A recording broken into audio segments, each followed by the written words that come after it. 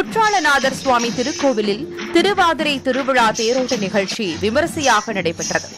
தமிழகத்தின் பஞ்ச சபைகளில் ஒன்றான சித்திர சபை அமையப்பெற்ற குற்றாலம் அருள்மிகு திரு குற்றாலநாத சுவாமி குழல்வாய் மொழியம்மை திருக்கோவிலில் ஆண்டுதோறும் ஐப்பசி விஷு சித்திரை விஷு திருக்கல்யாண திருவிழா திருவாதிரை திருவிழா உள்ளிட்ட பல்வேறு நிகழ்ச்சிகள் வெகு விமரிசையாக நடைபெறுவது வழக்கம்.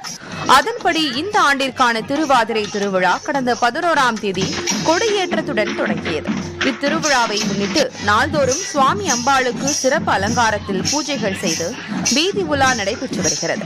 இந்நிலையில் விழாவின் முக்கிய நிகழ்ச்சியான தேர் இழுக்கும் நிகழ்ச்சியில் முதலில் விநாயகர் எழுந்துருளிய தேரையும் முருகர் எழுந்துருளிய தேரையும் பக்தர்கள் வடம் பிடித்து இழுத்தனர்.